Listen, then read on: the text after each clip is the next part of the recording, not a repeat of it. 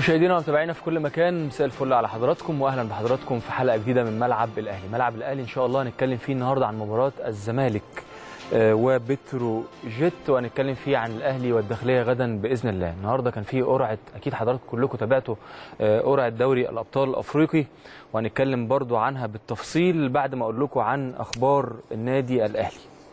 الاهلي زي ما حضراتكم عارفين ضم النجم رمضان صبحي النجم المحترف في الدوري الإنجليزي لمدة ست شهور على سبيل الأعارة. أعتقد إن هي صفقة هتضيف للنادي الأهلي كتير جدا وكنتوا كلكم مستنيين انضمام رمضان صبحي ولسه كمان في صفقات من العيار الثقيل في الطريق إن شاء الله. رمضان صبحي هيبقى إضافة قوية مع باقي الصفقات آه، صفقات تقيلة جدا النادي الأهلي محتاجها ودعم بيها صفوفه ولسه كمان زي ما بقول لحضراتكم في صفقات إن شاء الله يدعم بيها في القريب العاجل. أمير توفيق أعلن النهارده عن أمير توفيق مدير التعاقدات أعلن عن انضمام ص- رمضان صبحي رسميا لمدة ست شهور على سبيل الأعارة. هنتكلم برضو عن هذه الصفقة مع ضيوف الكرام وهنتكلم عن الصفقات الجديدة كلها. محمد يوسف بيعلن آه، قائمة الأهلي لمباراة الداخلية بالدوري العام. محمد يوسف المدير الفني للفريق الأول لكرة القدم بالنادي الأهلي أعلن عن 20 اسم أخيرا بقى في القائمة 20 اسم شريف إكرامي محمد الشناوي هشام محمد أيمن أشرف إسلام محارب وأحمد حمودي ومحمد آه، ومؤمن زكريا وميدو جابر ومحمد هاني وأحمد علاء أحمد فتحي مروان محسن عمرو السلية ومحمد شريف وأحمد شيخ علي معلول وليد أزارو باسم علي وناصر ماهر وكريم ندفد. أقول لكم قائمه تاني 20 اسم شريف إكرامي والشناوي. هشام محمد أيمن أشرف إسلام محارب أحمد حمودي مؤمن زكريا ميدو جابر محمد هاني وأحمد علاء وأحمد فتحي ومروان محسن عمرو السليه محمد شريف أحمد الشيخ علي معلول وليد أزارو باسم علي ناصر ماهر كريم ندفد بدأت القائمة يدخل فيها نجوم آه، كتير أحمد فتحي ومعلول وأزارو وباقي النجوم مؤمن زكريا. إن شاء الله كل الفريق يكمل محتاجين كل اللعيبة زي ما بنتكلم مع حضراتكم كل يوم. محمد يوسف النهارده والكابتن محمد يوسف أو النجم محمد يوسف دايما بثني على دور محمد يوسف النجم الكبير اللي قام بيه الفترة اللي فاتت. كانت فترة صعبة جدا لكن الحمد لله الكابتن محمد يوسف قدر يخرج بالفريق لبر الأمان. آه، عمل تدريبات ترفيهية النهارده في ميران الأهلي الختامي. أكيد النهارده بقى يوم خفيف جدا. محمد يوسف أو كابتن محمد يوسف بيعمل مباراة أو تدريبة فيها كده آه، مباراة ترفيهية. بين اللاعبين بتكون آه، مدتها خمس دقائق أو عشر دقائق عارفين الأحمال الزايدة على لاعبي النادي الأهلي. عشان كده النجم محمد يوسف بيعمل تدريبات ترفيهية واستشفائية في نفس الوقت. كابتن سيد عبد الحفيظ مدير الكرة بالنادي الأهلي بيجتمع مع طبيب الأهلي خالد محمود للإطمئنان على اللاعبين المصابين. سعد سمير صلاح محسن رامي ربيعة محمد نجيب. ده كان محور حديث بين الكابتن سيد عبد الحفيظ والدكتور خالد محمود. عارفين كان في إصابات كتير جدا. الحمد لله بدأنا نتعافى من هذه الإصابات. لسه كمان جونيور اجاييه هيدخل آه، في القائمة الفريق. إن شاء الله كان آه، خرج من ال- القائمة الإصابة الإصابة الكبيرة جدا اللي كانت جت في ركبته. وكان فيها قطع كمان في الرباط الداخلي. لعيبة كتير إن شاء الله مستنيينها ترجع. عشان كده كابتن سيد عبد الحفيظ كان بيتكلم مع الدكتور خالد محمود عن أحوال سعد سمير وصلاح محسن ورامي ربيعة ومحمد نجيب. إمتى هيدخلوا؟ هيدخلوا إمتى في الفريق؟ هيدخلوا إمتى في التدريبات ال- ال- الرسمية؟ هيدخلوا إمتى في المباريات؟ هيدخلوا إمتى في القائمه كل الكلام ده كان حديث داير بين الكابتن سيد عبد الحفيظ والدكتور خالد محمود. عارفين كمان آه، إن الأهلي خلاص آه، زي ما قلت لحضراتكم بكرة إن شاء الله مباراة الأهلي والداخلية. هنتكلم أيضا آه، مع ضيوفنا الكرام في هذه المباراة الهامة جدا النادي الأهلي. عايزين خلاص نقاط الزمالك بيكسب ما شاء الله يعني 8 انتصارات. الناس كلها فرحانة. النادي الأهلي قبل كده متهيألي قعد دوره ودوره شوية كمان بيكسب الحمد لله. لازم نجمع نقاط ولازم إن شاء الله ناخد كل مباراة على أسنان مباراة كؤوس. وده النادي الأهلي بيعمله كان مع الكابتن محمد يوسف وإن شاء الله يكون في المرحلة المقبلة. سعد سمير وصلاح محسن رامي ربيعة ده اللي إحنا كنا بنتكلم عليه من شوية بيواصلوا برنامجهم التأهيلي. خلاص سعد سمير كان عنده إصابة في العضلة الخلفية بفكركم بس بالإصابات. صلاح محسن كان عنده إصابة في العضلة الضمة كل دي تمزقات وليست إصابات عادية. رامي ربيعة بيطلع من إصابة بيدخل في إصابة الموضوع مع رامي ربيعة آه، يعني ربنا يا رب يشفيه. موضوع صعب جدا لما اللعيب يقابله. إصابات كتير ويطلع من إصابة يدخل في إصابة وحاجات يعني صعبة جدا بالنسبة للعيب الكورة حاجات مميتة كمان مش صعبة جدا بس. دعواتنا لرامي إن هو يرجع ويرجع بسرعة جدا كمان. آه، كابتن محمد يوسف بيجتمع مع النجم الجديد نادي الأهلي محمود وحيد آه، بيطمنه وبيطمن منه على كل طموحاته وبيقول له شكل النادي الأهلي ويبقى شكلك إيه في النادي الأهلي والمطلوب منك إيه الفترة اللي جاية. آه، يعني بيبقى كلام في الكواليس كتير جدا بين المدير الفني واللاعب الجديد بيدخله في أجواء النادي الأهلي. تعالوا نتكلم عن قرعة المجموعات اللي أقيمت النهارده وكان النادي الأهلي دخل في مجموعة. الحمد لله إنها مجموعة سهلة نوعا ما يعني شبيبة الثورة الجزائري. وسيمبا التنزاني وفيتا كلوب الكونغولي والنادي الأهلي المصري. أعتقد إن هي مجموعة الحمد لله يعني شبه شبه سهلة لكن ما فيش سهل في الكورة زي ما إحنا اتفقنا مع حضراتكم. آه، المجموعة فرقها اقولها لكم تاني شبيبة الثورة الجزائري وسيمبا التنزاني وفيتا كلوب الكونغولي والأهلي المصري قدام حضراتكم. آه، المجموعة قدام حضراتكم أهي شبيبة الثورة الجزائري وسيمبا التنزاني وفيتا كلوب الكونغولي والنادي الأهلي المصري. كل التوفيق النادي الأهلي. إن شاء الله إن هو يتربى على عرش هذه المجموعة. تعالوا أقول لكم المجموعة الأولى. آه، لوبي ستارز النيجيري قدام حضراتكم وآسك الايفواري آه، وصن داونز الجنوب افريقي والوداد المغربي. مجموعة صعبة نوعا ما. ستارز آه، الز- الزيمبابوي وأورلاندو جنوب أفريقي وحورية الغيني والترجي التونسي. المجموعه الثالثه ودي المجموعة الصعبة جدا اللي وقع فيها النادي الإسماعيلي مع شب- شباب قسطنطينه الجزائري والإفريقي التونسي ومازيمبي الكونغولي اسماء تخض. يعني الله يكون في عون آه، الناس اللي في المجموعة دي الأفريقي ومازيمبي وشباب قسطنطينه الجزائري. آه، مباريات هتبقى مباريات صعبة جدا ومباريات يعني في غاية الصعوبة. مواعيد مباريات آه، دور المجموعات. الجولة الأولى إن شاء الله تكون أحد أيام 11 و12 و13 يناير. الجولة الثانية هتكون أحد أيام 18 و19 و20 يناير. الجولة الثالثة زي ما قدام حضراتكم زي ما أنتم شايفين الجولة الثالثة أحد أيام 1 و2 أو 3 فبراير. الجولة الرابعة أحد أيام 12 و13 و14 الجولة الخامسة هتكون أحد أيام 8 و9 و10 الجولة السادسة هتكون أحد أيام 15 و16 و17 مباراة الأهلي كالتالي. الجولة الأولى الأهلي وفيتا كلوب يوم 11 أو 12 أو 13 أحد أيام 11 أو 12 أو 13 من شهر يناير. والجولة الثانية شيبة الثورة الأه... آه، الثورة آه، الجزائري الأهلي إن شاء الله في الأهلي 18 أو 19 أو 20 يناير. الجولة الثالثة والأهلي والسيمبا أحد أيام واحد واثنين وثلاثة فبراير الجولة الرابعة آه، هيكون سيمبا مع الأهلي أحد أيام 12 أو 13 أو 14 فبراير. الجولة الخامسة هيكون فيتا كلوب مع الأهلي أحد أيام 8 و9 و10 مارس. الجولة السادسة إن شاء الله اللي هيكون فيها الأهلي متربع على قمة هذه المجموعة تكون بين الأهلي وشبيبة الثورة 15 أو 16 أو 17 من شهر مارس المقبل إن شاء الله. دي كانت مباريات النادي الأهلي. هنقولها لكم تاني وهنتكلم فيها مع ضيوفنا الكرام اللي هيشرفونا بعد آه، قليل آه، الكونفدرالية واللي بيمثل فيها آه، مصر نادي الزمالك. هيلعب دور ال 32 مع اتحاد طنجة المغربي. الزمالك آه، وقع في التصنيف الثاني مع أندية الرجاء قدام حضراتكم وكمبالا سيتي الأوغندي وصفاقس التونسي ونهضة بركان المغربي.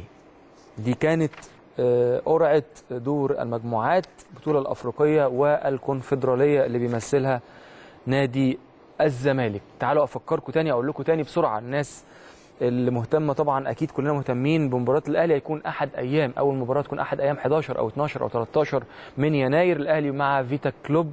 الجولة الثانية هتكون شبيبة الثورة مع الأهلي. هتكون 18 أو 19 أو 20 يناير إن شاء الله. الأهلي في سيمبا الجولة الثالثه أحد أيام 1 و2 و3 فبراير الجولة الرابعة على في الأهلي. أحد أيام 12 13 14 فبراير الجولة الخامسة فيتا كلوب مع الأهلي. أحد أيام 8 و9 و10 مارس والجولة السادسة آه، والأخيرة في هذه المجموعة تكون بين الأهلي وشبيبة الثورة. أحد أيام 15 و16 و17 من مارس المقبل إن شاء الله. الكونفدراليه زي ما قلت لحضراتكم الزمالك هيلاعب إن شاء الله اتحاد طنجة المغربي.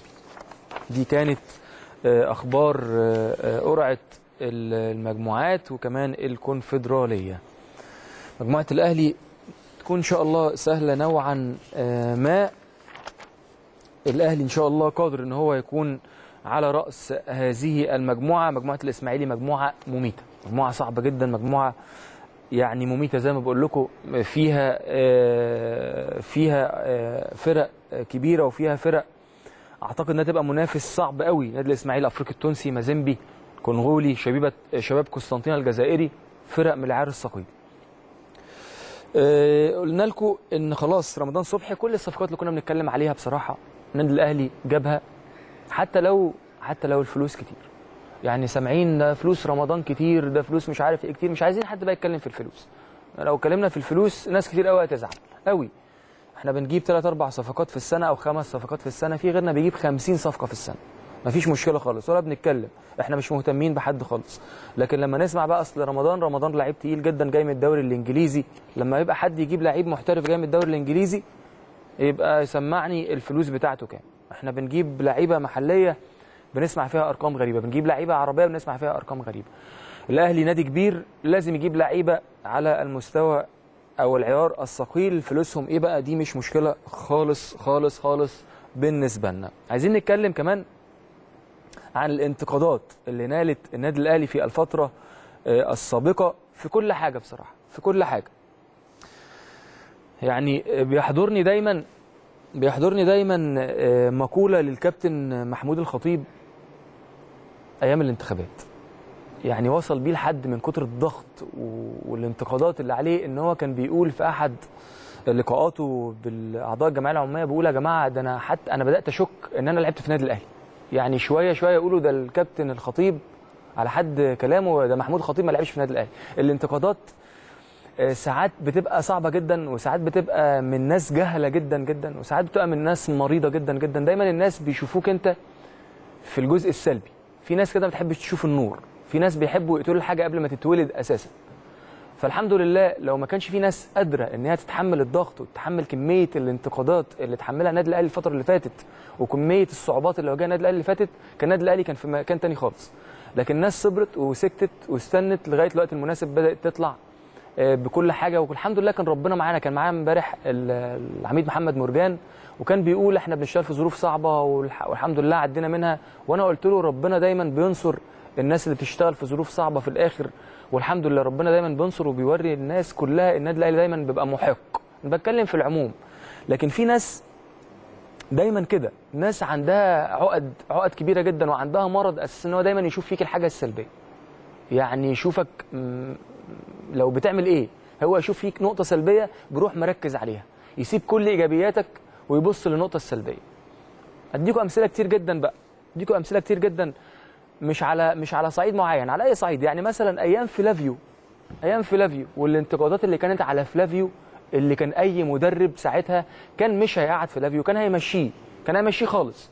لكن مانويل جوزيه قعده وبقى نجم الدنيا كلها فلافيو نجم الدنيا كلها. لدرجة إن إحنا لما فلافيو كان بيغيب ماتش كنا بنقول ده فلافيو غاب ماتش مش هنعمل إيه من غير فلافيو وكان مع وكمان كان مجموعة إيه؟ كبيرة جدا من اللعيبة ونجوم كبيرة جدا. لكن أنا بكلمكم في كمية الضغط وكمية النقد الجاهلي الجاهلي نقد جاهلي ونقد من ناس مريضة. ده فلافيو يعني ده مثال مثال. آه، وأمثلة كتير جدا أمثلة كتير جدا جدا آه، بتحصل آه، يعني مثلا كريم ندفد كريم ندفد الدنيا اتقلبت عليه السنة اللي فاتت. كريم ندفد النهارده نجم الأهلي. أنا بكلمكم في العموم يا جماعة بكلمكم في العموم. بتكلم ليه؟ بتكلم علشان إحنا لازم نصبر شوية. الكلام مبقاش في وقته. لكن أنا بتكلم بعد ما الأحداث بتهدى وبعد ما الناس بتهدى وبعد ما الناس بتقول والله لا ده بصراحة اللعيب ده كان لازم يقعد في النادي الأهلي. ما بتكلمش على الأهلاوية خالص. الأهلاوية ينتقدوا ويعملوا إحنا مع بعض ما فيش أي مشكلة خالص. أنا بتكلم عن الناس بقى اللي هي الهدامة. لأن الأهلاوي لما بينتقد فريقه هو عايز يشوف فريقه أحسن واحد في الدنيا. كان بتكلم بقى عن الناس التانية. اللي هو يطلع ينتقد كريم ندفد ندفد وبعدين بعديها تلاقيه على طول بيشيد بكريم ندفد ما تفهمش إزاي. وليد أزارو أول ما جه. ده دي الصفقة اللي جبتوها دي مش عارف إيه اللي جبتوه ده مش عارف مين. اجاييه ده مش عارف مين ولازم كان ده مش عارف يلعب ده مش عارف يجري ده مش عارف يباصي ده مش عارف يقف. نقد هدام ونقد لو أنت ركزت معاه أنت كشخص عادي تموت أساسا مش تلعب كورة ده أنت تموت أساسا. آه، مدرب آه، دجلة. تاكيس. برضه في أول السنة كانوا ممكن لو الراجل ده دم أو ادى الناس ودانه كان ممكن ياخد شنطته ويقول يا جماعة إيه ده يا جماعة؟ ده أنا ما عنديش فكرة. ده بصراحة الجهابزه بتوعنا هنا والناس النقاد العالميين اللي هنا في مصر لا لا ده أنا ما عنديش فكرة ولازم أروح بلدي بصراحة. بعد كده تكيس بيقول يا جماعة أنا مدرب قوي جدا وأنا بدي درس في الكورة للي عايز يتعلمه اللي عايز يبني فرقة واللي عايز يشتغل بأقل إمكانيات لعيبة هو شايفهم نجوم وشايفهم كنوز وإحنا شفناهم بعد كده نجوم وكنوز.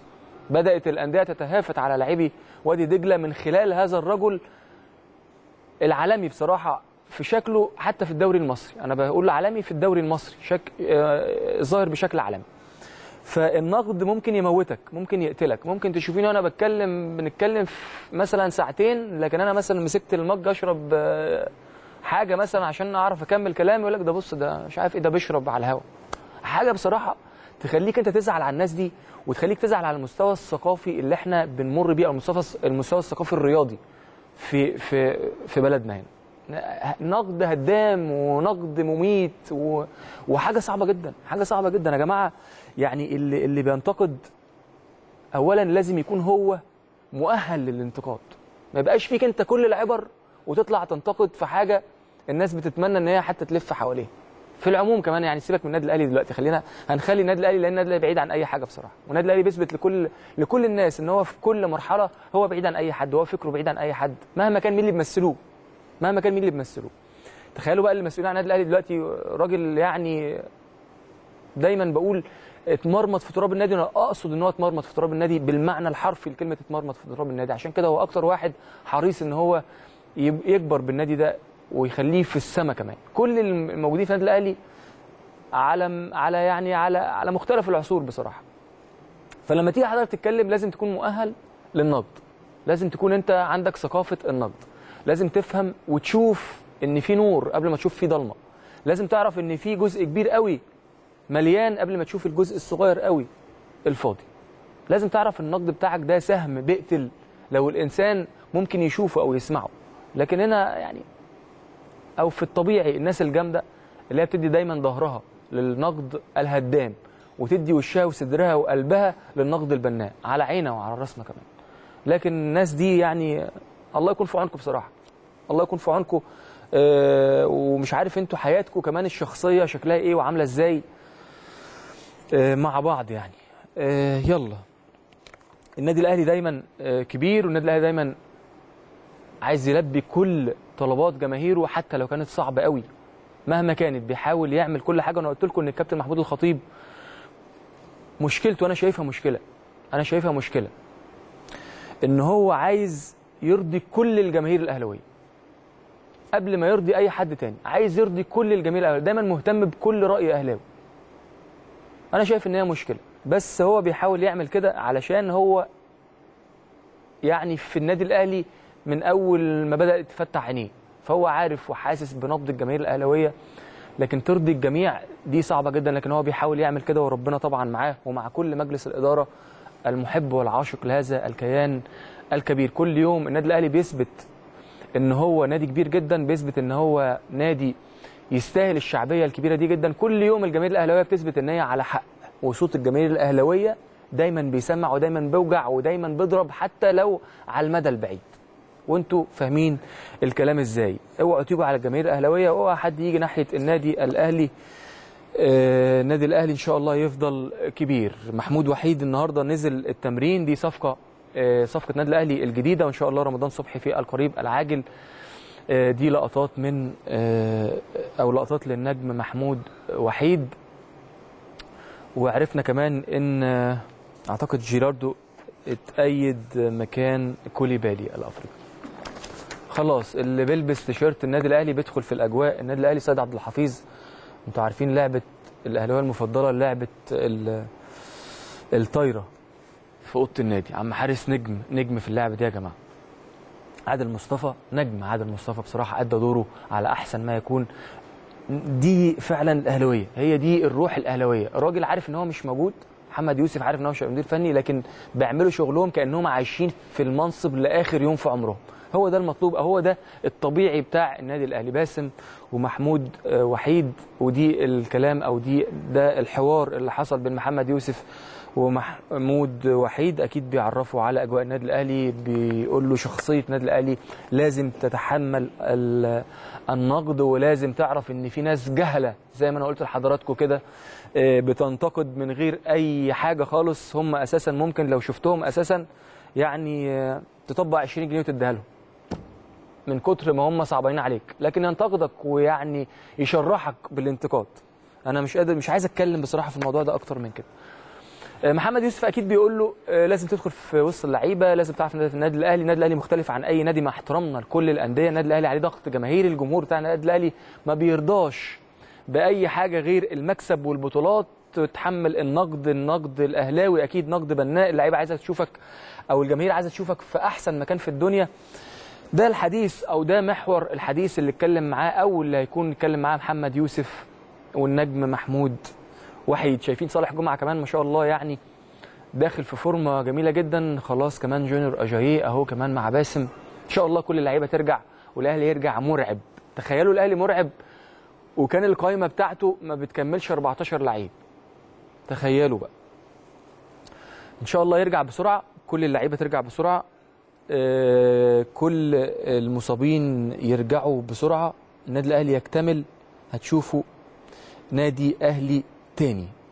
عايزين إحنا يا جماعة كأهلاوية نبقى ضد الحرب على اللعيبة. ناصر ماهر شفتوه بعد ما كنا بنقول ناصر ماهر ده لعيب بتدلع ده لعيب مش عارف إيه ده لعيب ناقصه إيه. شفت ناصر ماهر كان أحسن واحد آه، في آه، مباراة أثيوبي. كان أحسن واحد.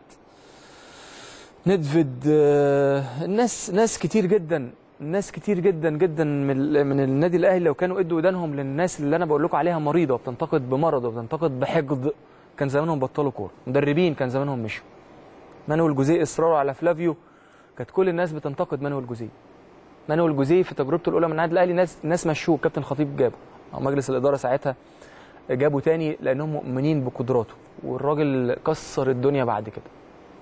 مشكلة المشكلة إن بقى عندنا وش مكشوف قوي يا جماعة. يعني أنا النهارده مثلا أطلع أنتقد حد تاني يوم أشيد بيه. مش مثلا لا أنا مثلا يا جماعة أنا آسف عادي جدا. أنا ممكن أنتقد حد وأبقى غلطان. لكن أقول يا جماعة يعني تكيس مثلا أنا في الأول مش انتقدته لازم يبقى فيه اهتمام بالحالة الدفاعية. بعد كده اتأسفت له أنا آسف أنا آسف وآسف على الهوا. مفيش مشكلة خالص. لكن أنت تطلع تنتقد وفي نفس اليوم تعمل نفسك مش أنت اللي انتقدته وبتثني دلوقتي والناس الناس بتنتقد إزاي؟ قمة ال... ولا بلاش. يلا نطلع فاصل ونستقبل ضيوفنا الكرام. كباتن مصر النادي الأهلي كابتن عبد إبراهيم عبد الصمد والكابتن محمد حشيش والنجم أحمد بلال. نتكلم عن مباراة الزمالك وبتروجيت ونتكلم عن الأهلي والداخلية. استنوا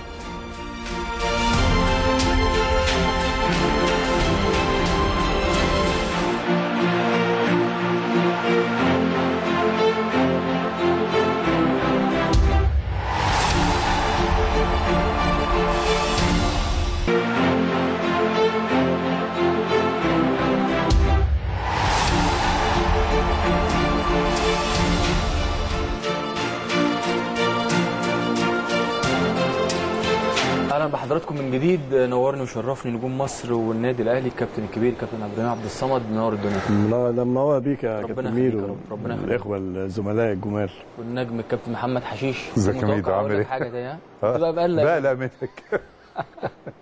تفاجئني بحاجة ثانية صحاب وإخوات. طبعا. منور الدنيا يا كابتن ربنا يخليك يا نجم أحمد بلال أحمد ازيك ازيك يا كابتن ميدو عامل إيه؟ وحشني والله. بصراحة استوديو شيك جدا. ربنا يخليك يا رب. ده بالكرافات اللي انت لابسها دي يبقى شيك أكتر. ده قديمة جدا.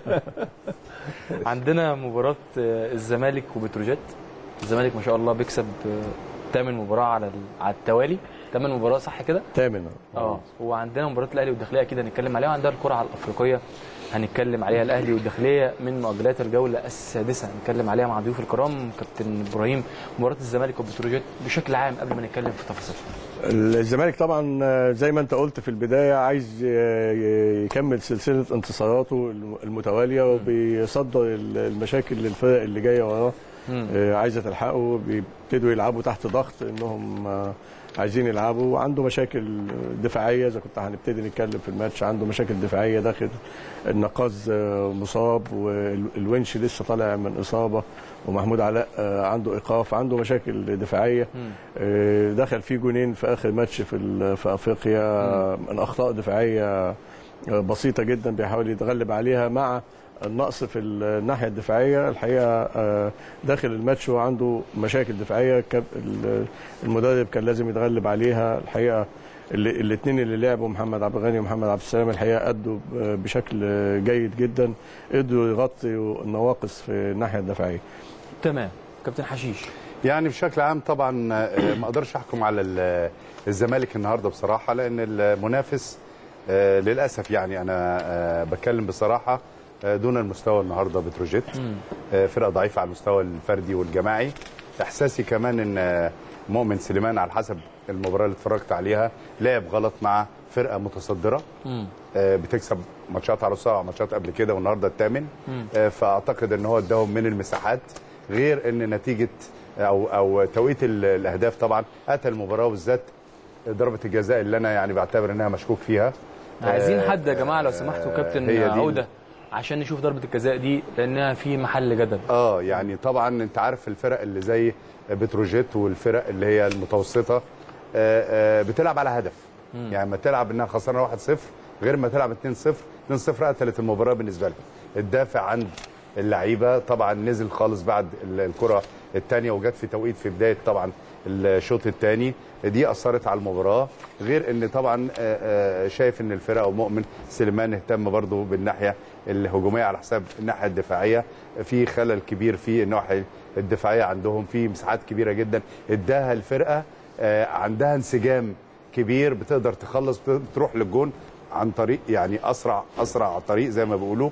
ويعني أنصر مكسب للزمالك النهارده بيضيفوا للمكاسب بتاعته انتصاراته المكسب بيجيب مكسب وهنتكلم عن النواحي الفنية بقى. كابتن بلال أنا شايف إن الزمالك بيمر بحالة معنوية جيدة. حالة معنوية عالية. الزمالك تثبيت في التشكيل. بيلعب النهارده فرقة حالتها المعنوية سيئة جدا. بتروجيت النهارده 18 مباراة بيكسب مباراتين ودي مش عادة بتروجيت. لكن الزمالك الحقيقة في الفترة اللي فاتت بيأدي بشكل قوي عندك ثبات في التشكيل بشكل كبير جدا. التغييرات في حدود النطاق الضيق جدا. يمكن التغييرات في حدود الإصابات. وده خد بالك اللي مدي قوة كبيرة لنادي الزمالك. النهارده بيخرج بس النقاز يمكن ويلعب مكانه حازم إمام. وحازم برضه لعيب عنده خبرات كبيرة جدا في الحتة دي. بالظبط. قدر إنه يثبت عبد الله جمعة ناحيه الشمال وبيأدي بشكل جيد جدا. وإن كان المردود اللي منتظره من عبد الله جمعة لسه ما أخدوش ولكن برضه بيأدي يعني بالشكل. بالظبط قايم بالدور الإيجابي بالنسبة له يمكن 50 50% يعني. الدور الإيجابي الدور الهجومي بتاعه ما وصلش ما ارتقاش لدرجة 80% مثلا. كأنه جابها زي زي النقاز ولكن بيأدي بشكل كويس جدا. لعيبة نص ملعب فرجاني ساسي لعيب خد ثقة كبيرة جدا أيوة. جدا كل مباراه النهارده. يا بيعمل اسيست يا بيسجل هدف لعيب مميز جدا جدا. عامل دفعة قوية جدا لهجوم نادي الزمالك. النهارده لعيب لما يكون عندك واحد بيلعب midfielder يا آه، ميدو ودايما بيكمل تحت المهاجمين ده لعيب مهم جدا جدا جدا في الملعب. النهارده بيزود. طبعا. كمان. وهو ده ده, بيدا يعني عندهم balance في الحتة دي. الحته. في قلب الملعب في balance واحد بيدافع وبيعمل ال covering على ال back right وال back. left وعلى اللعيبة ال- وع- وعلى كمان فرجاني الساسي في بعض الأوقات. والتاني ال midfielder ما بتستخدموش كأنه واحد مدافع. انت بتستخدمه كأنه كمان واحد مهاجم فبيزود لك في الحتة الهجومية. فالنهاردة الزمالك الحالة المعنوية تثبيت التشكيل الحالة المعنوية المعنوية كمان عند بتروجيت قليلة جدا. بيلاعب برضه نادي الزمالك فريق كبير. عارف إنه بيلاعب فريق بقاله 8 مباريات أو 7 مباريات ما, بي ما بيخسرش. بتروجيت كمان بقاله كتير جدا ما بيكسبش. حالته صعبة جدا. في النهارده غيابات كتيرة في في بتروجيت برضه عشان ما ننتقصش من بتروجيت حقه. في غيابات مؤثرة جدا اللعيبه الخبرات شمالس بيكلي أحمد رؤوف لالا آه فيرا ولا فيرا تقريبا. لعيب أربع لعيبة من أهم اللعيبة اللي موجودين النهارده في بتروجيت مش موجودين. فالنهارده برضو يدي كمان يا كابتن خب... يقلق المدير الفني. يخليه قلقان. عايز يكسب النهارده طبعا. وما عندوش العناصر اللي تقدر تكسبه. تكسبه. فدي برضو مشكلة كبيرة جدا بالنسبة لبتروجيت. ولكن مباراة النهارده أنا شايفها متوسطة المستوى. قدر الزمالك إنه يكسب النهارده بأقل يعني المجهود وبأقل الإمكانيات. تمام. هنتكلم عن عن سلبيات بتروجيت تحديدا لأن بتروجيت كمان حاجة يعني لازم نتكلم عنها كابتن إبراهيم. لكن قول لي زي ما بلاد بيقول آه، الزمالك عنده حالة معنوية مرتفعة جدا مكسب في مكسب في مكسب في مكسب في ثبات تشكيل في قلة تغييرات حتى لو في آه، نقص آه، في الإصابات واحد أو اتنين. تفتكر الحالة المعنوية دي هي حالة معنوية ولا استقرار فريق ولا في حالة فنية جديدة على نادي الزمالك؟ لا هو الاثنين مع بعض الحالة الفنية والحالة الإدارية. الزمالك من من أكتر من سبع ثمان سنين ما بيبدلش الجهاز الفني في وسط الموسم. مم. الجهاز الفني عنده استقرار فني الجهاز الإداري عنده استقرار فني ما فيش تدخلات في عمل الجهاز الفني. في زي ما قال الكابتن أحمد في ثبات في التشكيل. ال- الدكة دكه الاحتياطي عامرة باللعيبة ما عندوش إصابات.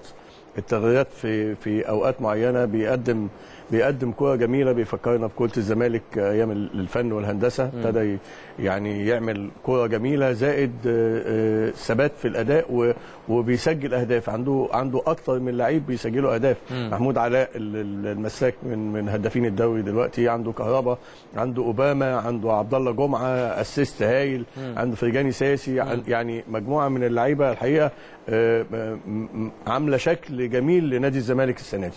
فالثبات في التشكيل مع عدم التدخل في عمل الجهاز الفني والناحية الإدارية عندهم فيها آه، ثبات وفيها ناس بتأدي بطريقة جيدة مخلية للزمالك شكل مخالف للي إحنا بنشوفه قبل كده. مم. المشاكل مفيش مشاكل باينة في نادي الزمالك. كان دايما نادي الزمالك مشهور إن عنده مشاكل كتير طول السنة ودي كانت بتأثر على أدائه بتأثر على موقعه في الجدول. السنة دي مش مش سامعين حس لأي مشاكل في نادي الزمالك وبالتالي دي آه، مأثرة على الناحية الفنية من ناحية الجودة. ابتدى في يبقى في جودة في الأداء. مع مع عدم التدخلات دي واللعيبة آه، اللي بتطلع زي اللي بتنزل آه، ما- ما فيش تكشيره كنا بنشوف الناس اللي طالعين من نادي آه، طالعين يغيروا والناس الناس اللي نازلين آه، مكشرين. دلوقتي في الابتسامه موجودة وفي الحب موجود. ف يعني ف ف- حاجة جديدة في نادي الزمالك يعني. مم. مم. كابتن حشيش بتروجيت. بتروجيت دلوقتي يعني ممكن توصفه إزاي؟ إيه الحالة اللي بيمر بيها؟ هزيمة في هزيمة. حالة سلبية إن بتروجيت مش عارف يخرج منها مؤمن سليمان كمان مش عارف يخرج ببتروجيت لغاية دلوقتي من الحالة بتاعته. بص يا ميدو أنا حاسس إن يعني بتروجيت آه، آه، فيها اثنين لعيبة ثلاث لعيبة. هم كل الفرقة بصراحة. مش مثل بيكلي ده طبعا يعني واضح إن هو فارق مع الفرقة بشكل كبير. معرفش الخلاف اللي موجود طبعا بقاله آه، شوية مأثر على أداء الفرقة. كاملة. طب حضرتك مع لما اللاعب يتمرد أو اللاعب يطلب إن هو يمشي آه. حضرتك مع الايقاف ولا مع الخصومات المالية ولا يحل المشكلة إزاي؟ بص آه، آه، لازم يبقى في اتفاق بينه وبين آه، آه، النادي. أنت عايز تمشي ما ينفعش تمشي في الوقت الراهن. لازم تأدي اللي عليك تكمل العقد بتاعك وتمشي بسهولة يبقى في وعد بكده بس لازم أستفيد منه. آه، آه، آه، حتة إن أنا أبعده لا ممكن أخصم له آه، ماليا. وخصوصا بالنسبة للعيبة المحترفة أكتر حاجة بتفرق معاها هي الخصومات المالية. إنما أنت هت هتوقف وهت وهتاثر على الفريق خصوصا لعيب بإمكانياته محور أداء الفرقة كلها آه، وت- وتستبعده إنك يبقى آه، بعيد. دي مشكلة مش هتستفيد أنت. أنت الخسران. آه، كذلك برضو يعني أنا شايف آه، آه، النهارده بشكل خاص آه، آه، كابتن مؤمن سلمان يعني آه، بيلاعب فرقة متصدرة نادي الزمالك. آه، التوفيق ماشي معاهم ومكاسب وفرقة منسجمة وال- والمكسب بيجيب مكسب وانت بتلعب لعب مفتوح. تمتش بالناحية الدفاعية. ما عندكش اللعيبة أو إمكانيات اللعيبة اللي تؤهلك إنك آه، تدافع كويس وتهاجم كويس. طب على الأقل لازم الناحية الدفاعية تبقى كويسة عندك. آه، كذلك برضو آه، في نقط تحول في المباراة. يعني أنا شايف برضو أهداف الزمالك جت في توقيتات نموذجية. آه، في كورة قبل الدقيقة 23 اللي هي آه، قبل ما كهربا يجيب فيها ال- الهدف الأول للزمالك آه، كورة آه، آه، بتاعه آه، المهاجم بتاع كابونجو؟ لا. كابونجو محمد سالم. محمد سالم. واخد بالك؟ آه، انفراد. آه، لمسها بس اللمسة الأخيرة كانت طويلة جنش طلع وإيه وقدر ينقذ الانفراد. الكرة دي لو جت يا بلال يعني أعتقد إنها كانت. هتبقى نقطة تحول. أنت بتلاعب نادي كبير زي نادي الزمالك تكسب في الدقيقة مثلا في أول ثلث ساعة 1-0 بتدي تستنفر القوه عند آه، ال- ال- اللعيبة بتاع بتروجيت والحماس. كنت ممكن تقدر تلاعب. في نفس الوقت هيحصل برضو آه، لخبطة عند نادي الزمالك من الهدف المبكر. فالنقطة دي هي نقطة التحول بالنسبة لهم. كذلك برضو ال ال الهدف انت بتنزل الشوط الثاني أي فرقة آه، مغلوبة واحد غير مغلوبة اثنين بالظبط. الهدف برضو ضربة الجزاء أنا يعني أعتقد إنها قتلت فرقة بتروجيت وخصوصا إن هم جايين بنفسية آه، آه، آه، تعبانة.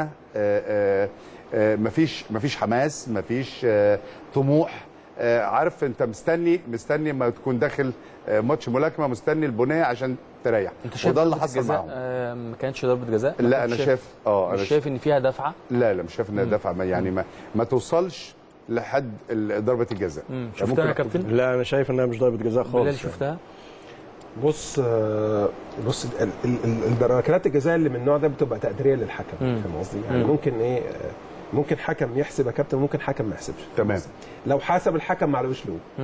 لو ما حسبش الحكم برضه معلش له طب. يتلام فيها فاهم قصدي؟ آه، طبعا معروف طبعا. طبعا. عايزين يا جماعة نشوف وبعدين نشوف برضه فين ادوار فين. الأدوار ال- ال- الحكام اللي ورا ال- الحراس المرمى اللي قدام حراس المرمى يعني دي أصلا ما بتبقاش واضحة. يعني الكرة يعني ركلة الجزاء دي يا كابتن يعني مش واضحة 100% ما تقدرش تقول تجزم 100% إن هي ركلة جزاء صحيحة. وما تقدرش تقول إن هو ما عندوش الحق إن هو يدي ركلة جزاء. فاهم قصدي؟ يعني بتبقى يعني الحتة دي بالذات يعني في الكرات اللي زي دي بيبقى عملية تقديرية للحكم. فاهم قصدي؟ أنت عارف إيه المشكلة يا بلال؟ إن أنت في ح- حكام كتير بيبقى في حاجات أصعب منها بكتير قوي. ما تحسبش مم.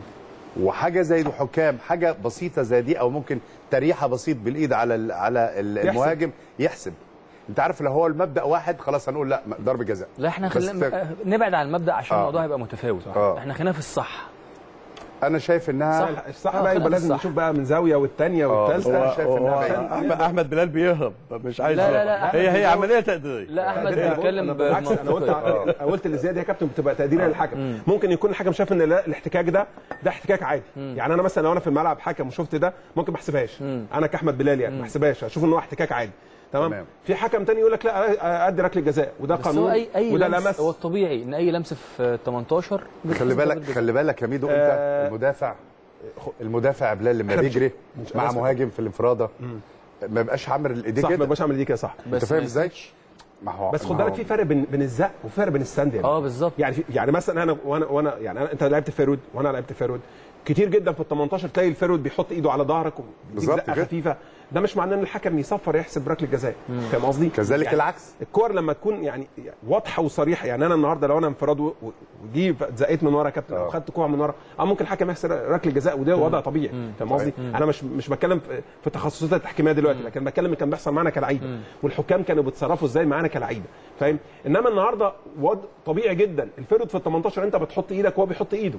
أنت بتسند وهو بيسند. طبيعي لأنه رايح على الجول. ده وضع طبيعي. فاهم قصدي؟ تبقى عملية تقديرية بقى للحكم. الحكم برضو ما عندوش ثلاث أربع كاميرات يا كابتن فاهم قصدي؟ بي- بيراجع فيهم. هو تمام.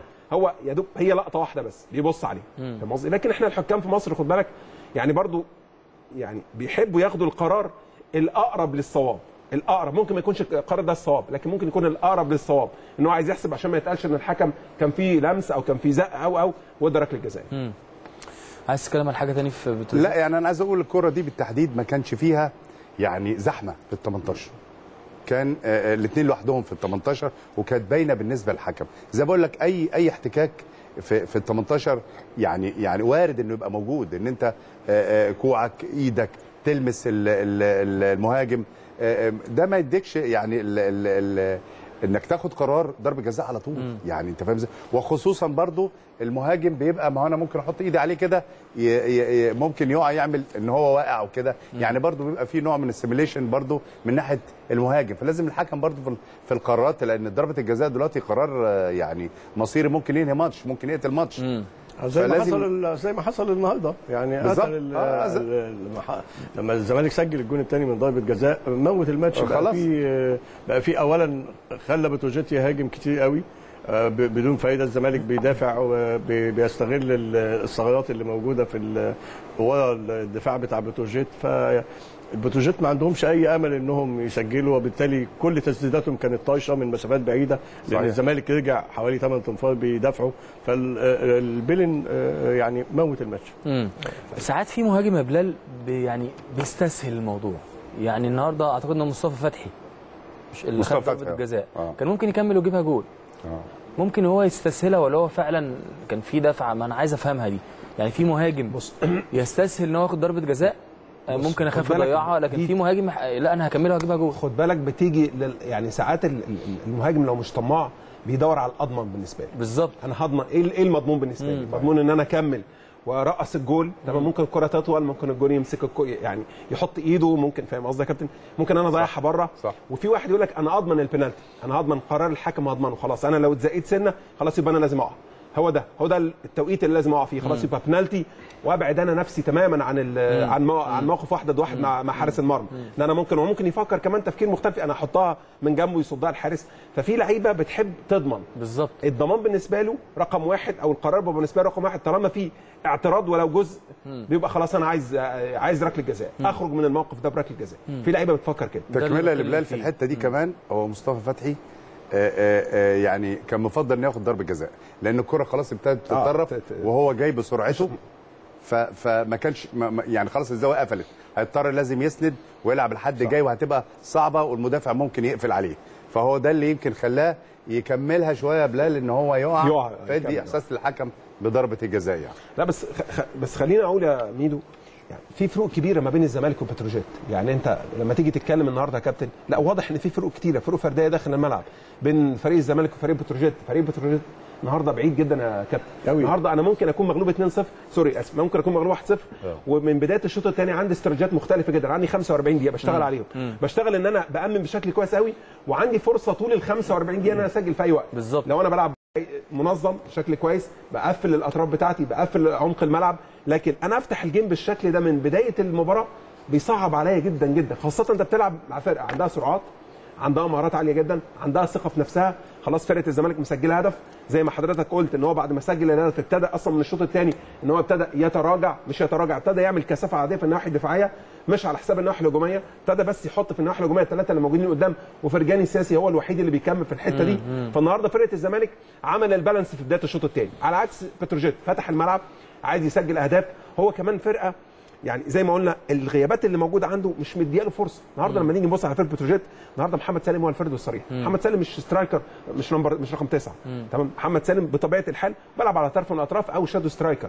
فالنهاردة لما يكون أنت ال man target بتاعك ال forward الرئيسي بتاعك ال striker بتاعك رقم تسعة.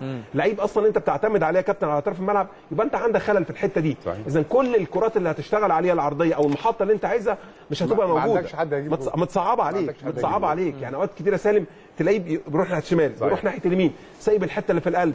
على الرغم إن مشكلة نادي الزمالك الكبرى هما الاثنين اللي في القلب ومفيش matching يعني مفيش يعني مفيش توازن في الحتة دي الزمالك عنده مشكلة ما بين الاثنين اللي في القلب دايما تلاقيهم في حتة واحدة الاثنين يا كابتن دايما على طول تلاقيهم صحيح. عندهم مشكلة في الحتة دي التغطيات العكسية مرة يلعبوا مع مشكلة. بعض النهاردة. مشكلة كبيرة جدا يعني ان أنت لو خدت لو كان النهارده الزمالك لو كان بتروجيت عنده مثلا أحمد رؤوف أو عنده حد صحيح. بيلعب في قلب صحيح. الحتة دي كان هيبقى في مشكلة على على لعيبة. الزمالك لا هو في تكملة لكلامك آه، في لعيب نزل في الدقيقة 63 باتريك ويليه ده آه عمل عمل عمل. لبكه آه، لعيب. كان بدأش الزمالك؟ غايب كمان ده كان غايب بقاله فترة ده كان عمل نادي الزمالك. يعني ده كان غايب يا كابتن كان مصاب. كان مصاب من الدقيقة 63 عمل مشكلة لنادي الزمالك في كل القوى اللي استلمها ليه باتريك ده باتريك ده ما- نزلش من طبعا كل مدير فني ليه هو وجهة كابتن نظر حشيش بيقول إن هو كان مصاب ولسه مصاب، راجع آه. يعني. آه الحقيقة من اللعيبة المجتهدة جدا عملوا مشكلة جامدة جدا لدفاعات نادي الزمالك. آه آه، يعني كان هيجيب هو جول عالمي مصاب فعلا. يعني أيوة. كان هيجيب جول آه، حلو قوي. ميدو رقص حوالي خمسة وكان هيروح يجيب جول أساس يعني. فرقة الزمالك السنة دي أنا بعتبرها. وأساس مكاسب نادي الزمالك 13 فرجاني ساسي خالص. حاجة جميلة. شي- شيل فرجاني بص برغم ال- ال- العروض الكويسة بتاعت نادي الزمالك إنما شيل فرجاني ساسي من فرقة نادي الزمالك حاجة تانية خالص. آآ آآ لأول مرة بتلاقي اتنين من الديفندرات واحد على مستوى عالي قوي في الكورة. راجل لعيب كورة حريف بيقدر إزاي يعمل الربط ما بين الدفاع والهجوم يا بلاوي دي اللي كانت طارق. حامد طارق حامد مؤثر جدا يا كابتن أنا عايز أقول لك في الناحية الدفاعية بس لا ما هو طارق حامد لو مش موجود مع واحد زي فرجاني ساسي هتلاقي هتلاقي الموضوع صعب. ميدو. ال balance يا مين ال balance هو ال balance ما أنا عايز أنا عايز أنا عايز أقول لك إيه وال balance لازم يبقى في واحد قوي جدا الزمالك. عارف أنت يا كابتن الزمالك بتلعب كأنك بتلعب بطريقة اللعب 4 4 2 القديمة تمام. الواحد midfielder بيلعب قدام الأربعة الاثنين الباكين والاثنين ال centre backs بالظبط، بالظبط. وهو واحد قدامهم حتة متفق. بتاع نص ملعب بالظبط كده. وواحد بيعمل حتة ال play. maker يعني الزمالك استغنى عن. الزمالك مثلا مستغني عن يوسف أوباما في الحتة دي. يعني كم... إحنا إحنا بطبيعة الحال في 4 2 3 1 في كل الفرق اللعيب اللي بيلعب الثالث بتاع الثلاثه اللي من تحت الفرد هو ده اللي يقوم بحتة ال playmaker تمام. يعني إحنا عندنا ناصر ماهر اللي يقوم بالحتة إنما دي. من تحت. إنما ده من تحت قوي فمسهل قوي تمام. وما ما بيديش فرصة للثلاثه اللي قدام ان هم حد يرجع فيهم. هو بيعمل لهم ال pass الطويل بيعمل لهم هقولها لك بحاجة. تانية. مين اللي كان بيلعب قبل ساسي ما يجي الزمالك اللي كان بيلعب جنب طارق حامد. كان defender كان ممكن دونجا لعب. لعب مثلا لعب. لعب محمود عبد العزيز. لعب فتحي. محمود عبد العزيز. محمود عبد العزيز. لا، محمود ما لعبش كتير محمود عبد العزيز. يعني لاعب اللي اللي أقصده إن اللي كانوا كانوا اثنين شبه بعض. اثنين defender ات. ما فيش حد عنده القدرة إن هو يربط يا كابتن ما بين ال defence وخط ال forward. آه، ال defence بتاع نادي الزمالك ما كانش بيلاقي حد أو ما كانش بيثق في حد إن يسلم له الكوره في الزنقة. فكان كلها كور طويلة. على الجناب هنا أو بيخلص. لأن معاك. المدافع عنده توقيت معين ما يقدرش يعني يستحوذ على الكورة ويبقى آه، آه، يعني ياخد وقته في الكورة. لازم عنده يعني بيبقى عليه ضغط فلازم يطلع الكورة على طول. دلوقتي لو شفنا الزمالك في بعض الفترات الكوره الصغيرة بتتنقل قدام ال 18 ما بين فرجاني ساسي وما بين اللعيبة وبتتنقل بتطلع. مهم قوي إن الكورة تطلع من تحت سهل ل- سهلة للناس اللي قدام. انت انت عندك في الماتشات اللي زي دي ممكن نقلة الثانية بتروح للجون يا بلال وده اللي عمله نادي الزمالك النهارده.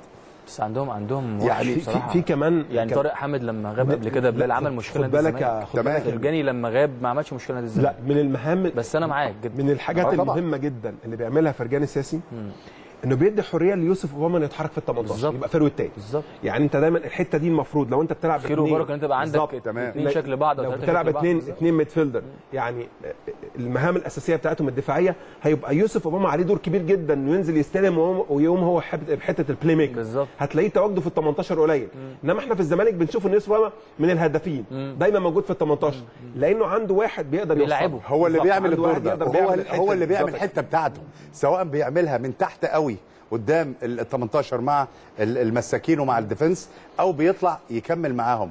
وطارق حامد متفرغ للتغطية الكاملة في الحتتين. فدي الحتة دي ظابطة قوي نادي الزمالك في الحتة دي. انت دايما بتلاقي ثلاثة رايحين على الجول. آه كهربا وأوباما ومصطفى فتحي. بس ما, ما, وقدامهم- ما, ما ننكرش إن طارق حامد ابتدى يلعب لقدام دلوقتي. ابتدى يلعب كوره يا دلوقتي. ابتدى يغير شوية. أيوه. بالظبط. ابتدى يغير الكوره شوية. يعني كان الأول آه بي بيأمن الناحية الدفاعية بس. كابتن إبراهيم أنا لما أكون بيلعب واحد جنبي حريف قوي هتعدي منه بقى ولازم أعمل حتة لا كده ابتدى يلعب يعني- كورة قدامه ويعمل through pass ولا اللعب طبعاً،. ابتدى. اللعب style اللعب. ابتدى يتنوع. اتغير. زي ما أنتم بتقولوا الحقيقة فرجاني ساسي الحرف سهل الممتنع بص حاجة جميلة عمرو السولية في وقت من الأوقات في النادي الأهلي كان بيقوم بالدور ده بشكل كويس قوي وكمان كان بيسجل أهداف يعني. قبل موضوع الإصابة وقبل ما يبعد شوية عن الإصابة إن شاء الله يرجع بالسلامة كنت دايما بتلاقيه موجود في ال 18 تلاقيه في السكس يارده تلاقيه بيسجل أهداف من جوه ال 18 يا كابتن تلاقيه بيصوب تلاقيه بيعمل حتة ال thrust بيكمل في الحتة دي. تمام؟ ففي لعيبة عندها الإمكانيات دي هي دي اللعيبة اللي تزق اللي بتزق الفرقة دايما لقدام. هي دي اللعيبة اللي بتغنيك إنك تلعب بواحد playmaker ملوش يعني يعني ملوش مهام يعني مهامه هتبقى صحيح. مختلفة شوية في الملعب. يعني النهارده أنا النهارده لما يكون عندي ناصر ماهر في الملعب وعمرو السولية موجود وعمرو السولية بيعمل لي الدور ده دايما هدي أخلي ناصر ماهر هديله pushing كده دفعة إن هو يلعب في ال 18 أخليه يلعب دايما على حدود ال- ال box. فاهم قصدي؟ مش هديله مش هقول له لا انزل استلم من من الاثنين ال centre backs فاهم قصدي؟ أنت عارف؟ عشان هو يبدا عشان النفس كمان. بالظبط. في حاجات في الملعب كده بتبقى عدوى. يعني لما بتلاقي لعيبة مهاراتها عالية قوي في الملعب بتضطر اللعيبة اللي جنبها إنك إيه بتسلم وتستلم منه وما بتبقاش قلقان أيوة، وخايف. أيوة، أيوة، بالظبط. واخد بالك؟ غير ما بيبقى قدامك واحد يا دوبك بتسلمه وهو بيخلص من الكورة. فدي الحتة دي فارقه جدا جدا مع نادي الزمالك وهو دي مربط الفرس السنة دي عند نادي الزمالك. أكيد. آه، كابتن إبراهيم النهارده كانت ال- القرعه الأفريقية. حضرتك شفت مجموعة الأهلي آه، في دوري أو دور مجموعات الأهلي مع آه، فيتا كلوب الكونغولي ومع سيمبا التنزاني ومع شبيبة الثورة الجزائري. أنا أنا شايف إن شايف المجموعة شكلها إيه؟ أنا شايف إن مجموعة النادي الأهلي متوازنة جدا و النادي الأهلي ممكن إن شاء الله بإذن الله يحتل المركز الأول فيها بسهولة جدا. بالمقارنة بال- بالمجاميع الأخرى المجموعه ال- اللي واقع فيها الإسماعيلي آه، مجموعة قوية جدا آه، فيها آه، الإسماعيلي مع شباب قسنطينه الجزائري الأفريقي التونسي من الف- الفرق ال- اللي قدام حضرتك يا كابتن قبل كده. ال- مازيمبي. آه. مازيمبي الكونغولي برضه من المنافسين الأشداء في في أفريقيا. أنا شايف إن مجموعة الإسماعيلي صعبة جدا عن مجموعة الأهلي. مجموعة الأهلي سهلة نسبيا والأهلي يقدر يحقق فيها آه، المركز الأول إن شاء الله إن شاء الله بسهولة يعني. تمام تمام. آه كابتن حشيش مجموعة آه،. طبعا أنا شايف إنها آه، يعني الحمد لله القرعة حطتنا في مجموعة إلى حد ما كويسة. اتكلم بس على الفرقة الوحيدة اللي هي فرقة شفناها خلال الفترة اللي فاتت فيتا كلاب هي الكونغولي هو اللي هي في المنافسة الكاملة. إنما أعتقد إن الفرقتين التانيين يعني آه، آه، آه، يعني مستوى أقل شوية. بخلاف طبعا المجموعات الثلاث مجموعات بصراحة فيهم يعني ما شفنا المجموعة ال- الأولانية فيها صن داونز آه، لوبي ستارز النيجيري الوداد المغربي وأسيك الإيفواري طبعا دول فرق آه، لهم يعني تاريخ في بطولات افريقيا وعلى مستوى عالي. كذلك المجموعة الثانية فيها برضو آه، آه، الترجي التونسي آه، وبلاتينيوم ستارز وأورلاندو بايرتس.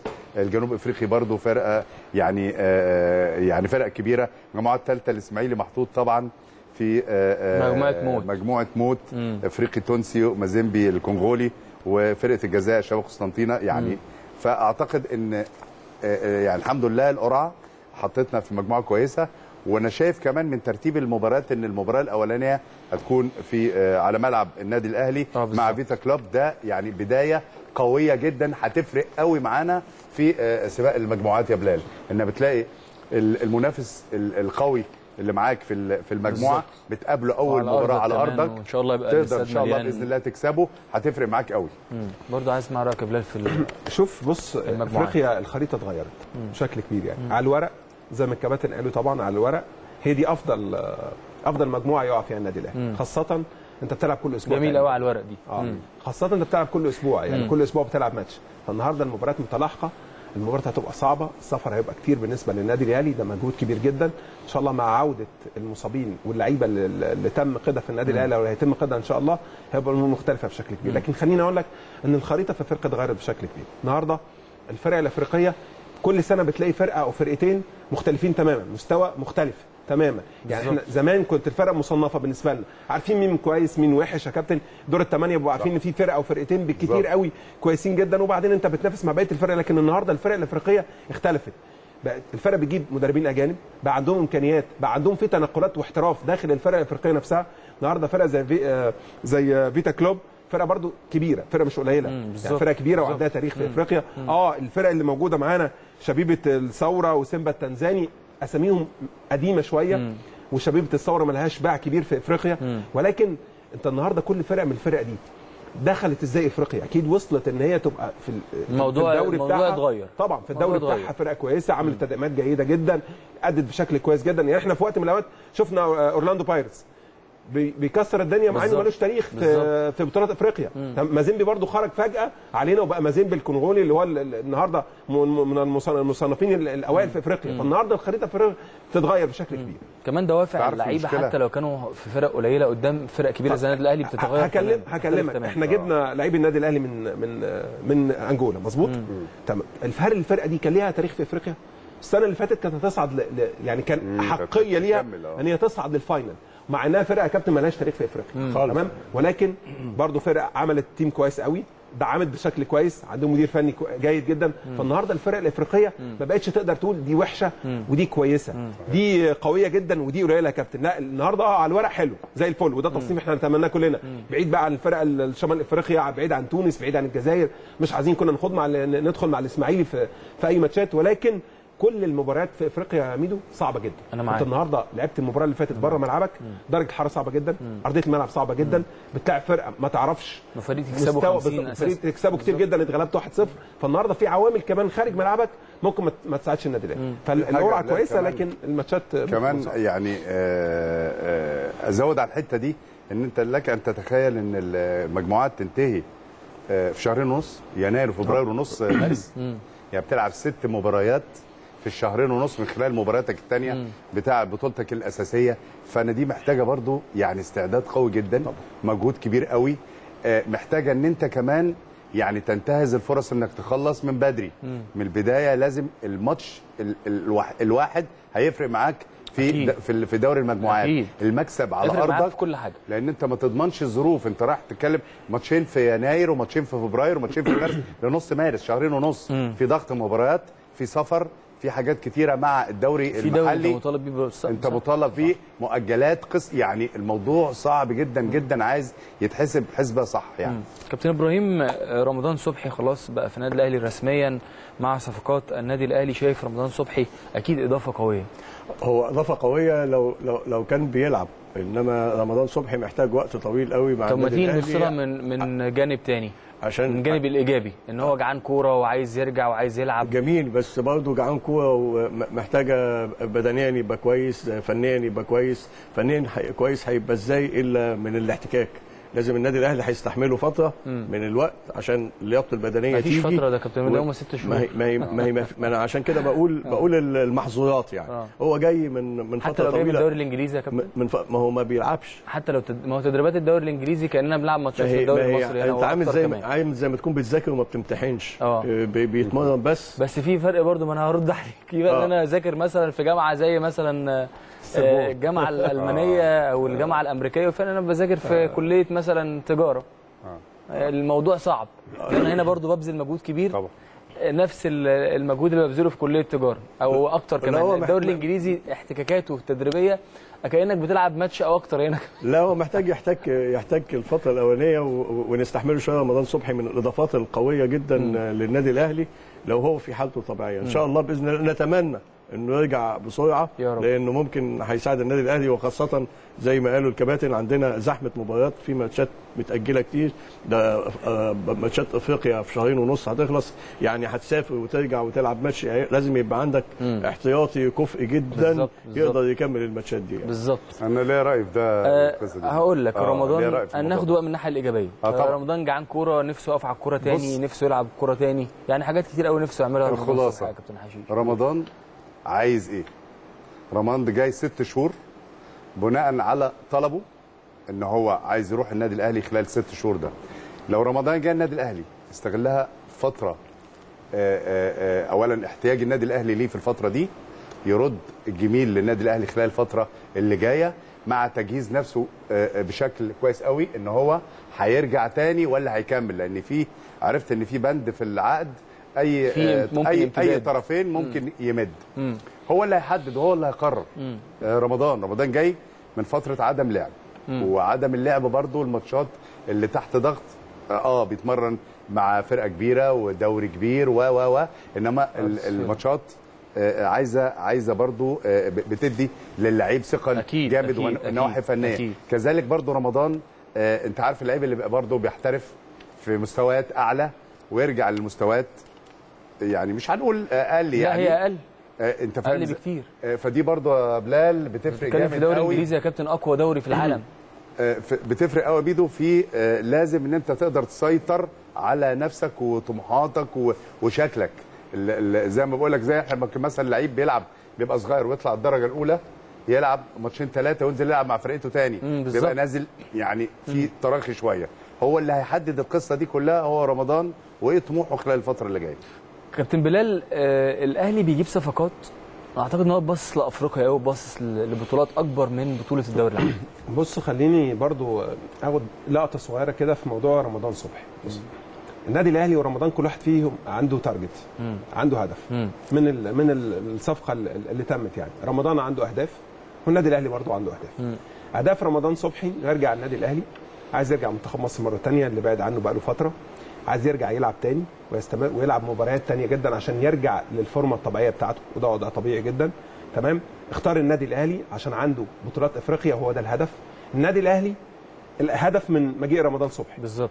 أنت عندك بطولة إفريقيا. بالظبط. محتاج المكان ده بشكل كبير جدا محتاج لعيب عنده ثقة محتاج لعيب يقلق شوية ي- يخوف الفرق اللي قدام. أنت برضو خد بالك الأسماء في وقت من الأوقات ممكن ما يكونش الاسم في الملعب بيقلق لكن الاسم نفسه بيخض شوية. التيشيرت بيرعب. بالظبط. الأسامي نف... بالظبط. الأسامي نفسها بتقلق وبتخوف شوية. النادي الأهلي لما يجيب رمضان صبحي يبقى صفقة كبيرة جدا. هيبقى قلقان بقى وأنت بتلاعب الترجي هتبقى عامل حسابه بشكل كبير وأنت بتلاعب مثلا آه، فيتا كلوب هتبقى عامل حسابه بشكل صحيح. كبير جدا. أهداف النادي الأهلي هو النادي الأهلي مش مركز مش عايز رمضان عشان بطولة الدوري لأن أنت أصلا هتنتهي الاعاره في شهر 6 بالظبط. والنادي الأهلي مكمل في الدوري العام بعد شهر 6 صح. فأنت النهارده عايز رمضان صبحي عشان حتة الحتة دي. حتة إفريقيا. فأنت جبته وتعاقدت معاه عشان الحتة دي. رمضان صبحي إمكانيات كبيرة جدا. لعيب مهاراته عالية جدا. آه كابتن بي... آه، كابتن إبراهيم قال لك آه بقاله فترة ما بيلعبش هو عنده مشكلة في الحتة دي لكن خد بالك هو لعيب صغير.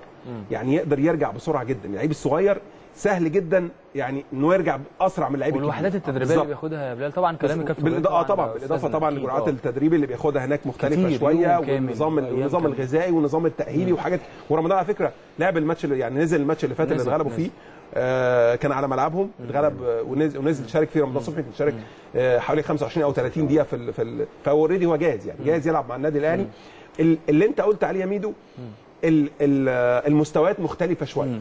هنا رمضان في الدوري الإنجليزي في مستويات أقوى ولياقة بدنية أعلى واحتكاك أقوى. النهارده مع المستوى الأقل شوية في إفريقيا لا ممكن يكون رمضان يعلى بشكل كبير جدا. أكيد. فأعتقد إن هو مجيئه للنادي الأهلي هيبقى فايدة رمضان صبحي وفايدة للنادي الأهلي في نفس التوقيت. أكيد أكيد. آه، نطلع نشوف آه، تقرير آه، عن آه، القرعه الأفريقية ونرجع نتكلم عن مباراة الأهلي والداخلية غدا إن شاء الله. الحمد لله طبعا على كل شيء. هي قرعه متزنة إلى حد كبير لكن في النهاية أنت دوري أبطال أفريقيا بتاخده بتاخده على مراحل. مرحلة آه، تحضير لدوري المجموعات. الحمد لله عديناها. دوري المجموعات لابد يبقى فيه احترام شديد جدا وحذر شديد جدا. وتتعلم كمان من السنين السابقة. يعني السنة اللي فاتت كان بدايتنا في دوري المجموعات ما كانتش بداية موفقة. تعادلنا على أرضنا وخسرنا بره أرضنا. صعب الأمر علينا. لكن قدرنا ترجع من جديد. إن شاء الله الرحمن السنة دي يبقى البداية أحسن والبداية إيجابية بشكل. لا فيتا كلوب هو وصيف في الكونفدرالية السنة اللي فاتت قدام الرجاء. عنده خط أمامي هايل جدا عنده لعيبة نص ملعب كويسة جدا. لكن زي ما قلت لك يعني أنت بتلعب دوري الابطال أفريقيا أنت مش بتلعب بطولة عادية أنت بتلعب دوري أبطال أفريقيا. فوضع طبيعي إن أنت تقابل فرقه كويسة وفرقه قوية وفرقه عندها يعني آه، رصيد كويس وتاريخها كويس. فوضع طبيعي جدا فتستعد للمجموعة ككل. مش لفيتا كلوب بس يعني. كمان شكل يبقى أحسن بكتير يمكن من خلال اللعيبة المميزة من خلال اللعيبة الراجعة من إصابة من خلال التدعيمات. إن شاء الله الرحمن بإذن الله نظهر بشكل كويس محليا وافريقيا بإذن الله. مجموعة أعتقد آه، يعني للأهلي م- م- في المتناول بشكل كبير. هو أكيد أكبر فرقة في المجموعة آه، بيلعب على البطولة وبالتالي كل الناس هي اللي عاملة حسابه يعني. أعتقد فيتا كلوب هو ممكن يكون المنافس على القمة على قمة المجموعة. لكن فرقتين تانيين يعني فرقة الجزائر طبعا برضه الجزائر دايما بتطلع لعيبة في فرقة كويسة لكن آه، أعتقد فيتا والأهلي هم الأقرب يعني. آه، آه، اتنين فاينل ورا بعض أكيد الأهلي محتاج يكسب بطولة تدعيماته كويسة في يناير هنشوف طبعا بشهر يناير لكن آه، يمكن أخيرا النهارده رمضان صبحي أكيد لعيب كويس جدا. آه، زي ما بقول لك أعتقد الأهلي يعني هي الناس لما تشوف الأهلي معاه هي اللي بتخاف مش هو اللي يعني مش هو اللي هيعمل حسابه في المجموعة دي أو في الدو في الدور ده يعني. لكن كل شيء لازم تحترم المنافسين عشان توصل.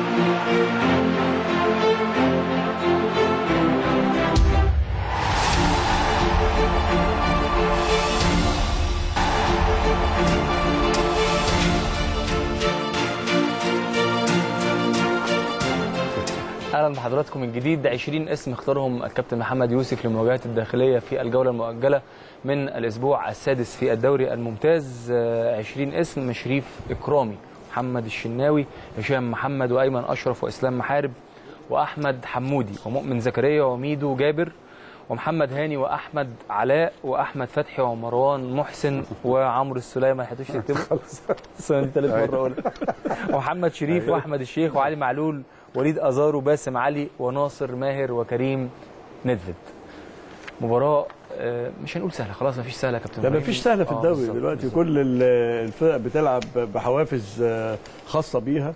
آه، كل الفرق خايفة من المفاجات بتاعة الدور الثاني والتدعيمات بتاعة الفرق ال- المنافسة. وبالتالي كل فرقة بتلعب آه، على ثلاثة بونت. آه، النادي الأهلي بيلعب تحت ضغط عصبي شديد جدا. آه، موقفه في في الجدول مع عدد الماتشات المؤجلة موقفه مش باين مش مش مش محسن شكل ال- الجدول. متهيألي لما يخلص الماتشات بفوز إن شاء الله هيبقى شكله في الدوري في في الجدول آه، في ال- المراكز الأولى يعني. آه، الإصابات اللي عنده لسه مش مطمنين عليها. آه، هل عودة الإصابات يعني أحمد فتحي لسه مش مطمنين علي معلول مش مطمنين على إصابته. لازم ياخد الماتشات بصورة متدرجة.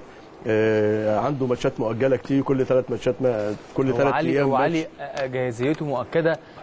طبيا. لكن آه. فنيا أنا مع حضرتك لسه. آه يعني لازم. ياخدوا فترات قليلة. لازم ب- ب- يعني طبعا على حسب تقديرات المدير الفني. مم. آه كل ثلاث أيام هيبقى ماتش من المؤجلات. آه عنده ماتشات أفريقيا داخلة.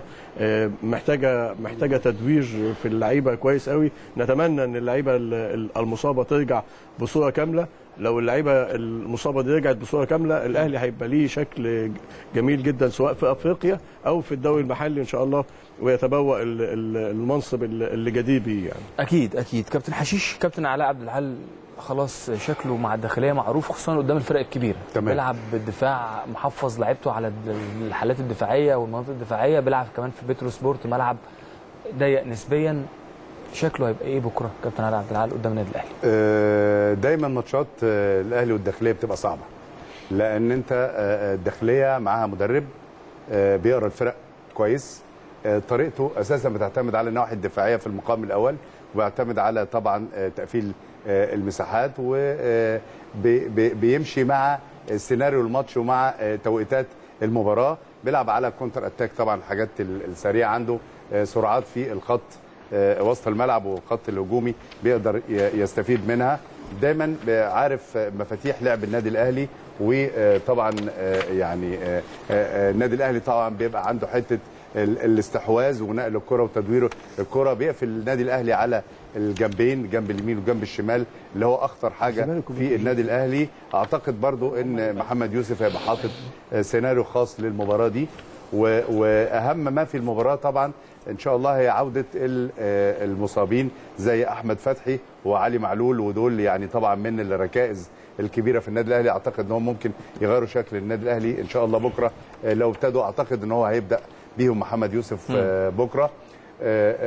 كذلك برضو أعتقد إن هو ممكن بكرة يبدأ بوليد أزارو عشان وليد محتاج أعتقد يا بلال الفترة اللي جاية دي ياخد ماتشات أكتر لأنه بعيد فمش هينفع معاه إن هو ياخد جزء في جزء وده مش هيقلل من طبعا آه، آه، قيمة آه، مروان محسن إنما لازم هيدي العناصر برضو اللي هي هيحتاجها بعد كده في المباريات القادمة في إفريقيا. أعتقد إن دولت ممكن يغيروا شكل النادي الأهلي. الأهم من كده إن أنت هتبقى عندك الدكة قوية. غير الماتشات اللي بالظبط، فاتت خلال. الفترة اللي فاتت دي. بقينا 20 اسم في القائمه كابتن آه، إحنا كنا فين وبين بالظبط كده. آه ما شاء الله. بص الفرقة ما شاء الله يعني ما شاء الله. ما كنتش لاقي تكمل ال- ال- الدكة. دلوقتي انت عندك آه، بدائل وبدائل محترمة. آه، ممكن تغير آه، آه، النتيجة ويبقى في كروت بالنسبة للكابتن محمد آه، يوسف. أعتقد إن مباراة آه، بكرة إن شاء الله بإذن الله آه، تبقى آه، آه، يعني آه، امتداد لمكاسب النادي الأهلي في الفترة اللي جاية إن شاء الله.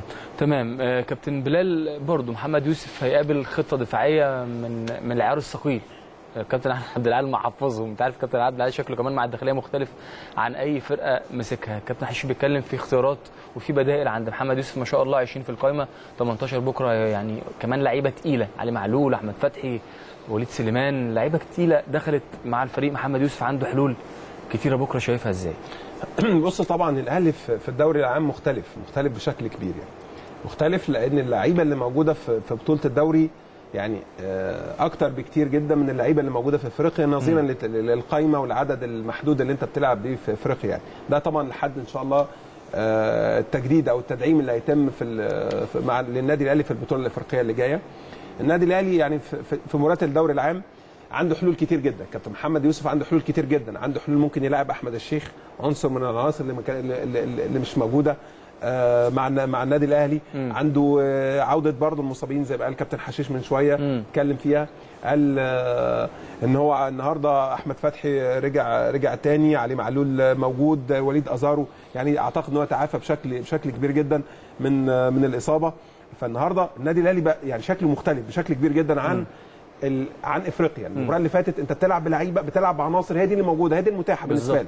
لكن في إفريقيا مختلف الموضوع بشكل كبير جدا. أنت عندك لعيبة النهارده وجودها كمان. في الدوري خد. بالك أحيانا يا ميدو اللعيبة لما بترجع بتدي كمان دفعة معنوية كبيرة جدا وبتدي حماس كبيرة جدا للعيبة بتلعب في الملعب. النهارده أنا لعيب بلعب في الملعب في لاعب مصاب بقى له فترة لما بيرجع لما بيجي يرجع لعيب المصاب بتلاقي الضغط على اللعيب اللي بيلعب عايز يطلع أكتر حاجة عنده. بيبذل أكبر مجهود بالنسبة له. فدي حاجة بالنسبة مفيدة جدا بالنسبة للمدير الفني إن هو بيبقى عنده الاختيارات بتبقى تتصعب عليه. يعني النهارده لما نشوف مروان محسن تألق بشكل غير طبيعي بيسجل في كل مباراة النهارده بقى يلعب على الجول بشكل كبير جدا. الأداء بالظبط. اختلف فالنهاردة إحساسه ان دخل الملعب وخد فرصة وخد الثقة وعنده لعيب قاعد له بره بيخليه يبذل مجهود كبير جدا. ممكن يكون فوق الم... فوق المجهود بالظبط. الطبيعي اللي فوق فدي. دي الحتة إن أنت بتلعب في أفريقيا وبتلعب في الدوري كمان بتدي للفريق المنافس آه، يعني بتدي له إن أنت لأ أنت عندك دكة كبيرة جدا. عندك أحمد فتحي عندك علي معلول عندك ناس ده اللي ما لعبوش آه، بكرة إن شاء الله. عندك أسماء تخوف. عندك أسماء كبيرة. طبعا أكيد طبعا. النهارده رجوع علي معلول هي- يعني هيحل لك لغز حتة ال center. back اللي موجود أيمن أشرف أنت عايزه يلعب في الحتة دي خلاص. بالظبط. يعني كوليبالي خلاص أنت مش النادي بالظبط. عن كوليبالي. فأنت عايز أيمن أشرف في الحتة دي. فالنهاردة وجود علي معلول مع النادي الأهلي هيبقى مفيد بشكل كبير جدا يا كابتن. هيبقى طبعاً. عندك نقطتين مهمين جدا يا ميدو. النقطة الإيجابية النهارده أيمن أشرف من اللعيبة اللي بتعرف تنقل كورة اللعيبة اللي بتعرف تبني هجمة. وده ما كانش موجود في النادي الأهلي الفترة اللي فاتت. يعني كوليبالي من اللعيبة اللي ما بتعرفش تن... يعني تبتدي هجمة. ما بتعرفش تحضر أو تحضيره بطيء جدا يا كابتن. أيمن أشرف لا بيحضر بيزيد كمان مع الهجمات بيوصل لنص ملعب. ممكن أيمن أشرف يعمل لك through pass ممكن يعمل لك كرة طويلة جدا توصل تروح للمهاجم أو تروح للثلاثه المهاجمين فالنهاردة أيمن أشرف مش بس أنت هتستفيد منه ك center back أنت هتستفيد منه ك center back بيعرف يلعب كورة بيعرف ينقل الفرقة بشكل كويس جدا بيعرف يحضر. وده المطلوب وهي دي شخصية النادي الأهلي إن الاثنين اللي موجودين في القلب قلب الدفاع إن هم يكون عندهم كورة يعرفوا يحضروا. هي دي شخصية النادي الأهلي. أنت النهارده كنت مختلف تماما الفترة اللي فاتت. شخصيتك ما كانتش موجودة. لأن أنت النهارده النماذج اللي كانت موجودة عندك في الفرقة مختلفة شوية عن طبيعة الأداء اللي أنت بتلعب بيه. كفريق كبير. والفكر كمان كان آه طبعا مختلف. مختلف تماما. النهارده ك يمكن الفريق الداخلية هو إحنا عارفين كلنا طريقة اللعب. طريقة اللعب طبعا آه هو بيلعب بيدافع بشكل كويس قوي وبيعتمد على الهجمات المرتدة السريعة. ودي بيعملها طبعا آه كابتن عبد العال مع كل الفرق الكبيره بيعملها مع الزمالك بيعملها مع الأهلي وبينجح عنده هداف، آه طبعا. عنده هداف الدوري. عنده حسام باولو طبعا. اللعيبة اللي بتعرف تجيب أجوان. ودي الميزة اللي إحنا كنا بنتكلم من شوية عن الزمالك وبتروجيت. لعيب هو بتروجيت قلنا محتاج واحد زي ده. واحد بيعرف يسجل أهداف واحد محطة بالنسبة لك. عنده طرفين سرعة جدا بيقدروا يوصلوا يعني بي- بيرتدوا ويلعبوا بشكل سريع جدا في الناحية الهجومية.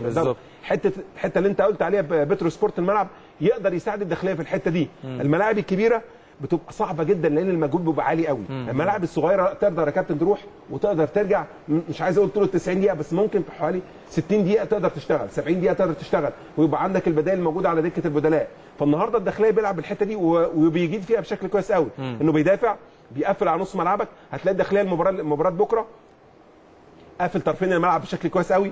بيلعب man to man مثلا على ناصر ماهر في قلب الملعب وخلاص قافل لك ال game وبيلعبك بالاثنين اللي موجودين على اطراف الملعب وبيلعب بحسام باولو هو دي طريقة الداخلية. وبينجح بيها وبيشتغل بيها كويس جدا مع الداخلية. كابتن آه، علاء عبد العال فارض كمان شخصيته على اللعيبة. بيقدر يوظفهم زي ما هو عايز. مفيش اعتراضات كبيرة جدا. فالنهاردة بيعمل game كويس جدا. عشان كده النهارده شايفينه بيسجل 20 هدف. وبرده مش داخل فيه أهداف كتير قوي يا كابتن. هو داخل فيه 22 هدف. آه يعني ده معناه إن كل مباراه بيدخل فيه هدف. لكن مش معدل أهداف كبيرة قوي فالنهارده بيعرف يسجل آه بيعرف يسجل. يقدر يقلق؟ آه يقدر يقلق. فالنهارده النادي الأهلي برده في الهجمات لازم يكون في شوية حذر بالنسبة لك يا نادي الاهلي يعني. تمام. كابتن إبراهيم الداخلية مع كابتن علاء عبد العال في المركز ال 12 لكن مش ده الحقيقي مش ده الفعلي. الداخليه بينها وبين متزيل الدوري الإسماعيلي لغاية دلوقتي لاعب 13 مباراة عنده لسه مباريات مؤجلة. بينها وبين الإسماعيلي خمس نقاط اللي هو آخر الدوري. فهو فعليا لا هو مكانه مش مطم مش مطم- مطمن ليه. عايز ياخد أي نقاط من مباراة الأهلي بكرة. تفتكر ممكن يعمل إيه؟ بقول لك في المركز ال 18 لاعب 16 مباراة يعني آه، فاضل له مباراتين بس. مركزه مش مط... مش أو أو مطمن. اولا الجو- الجدول ده وهمي.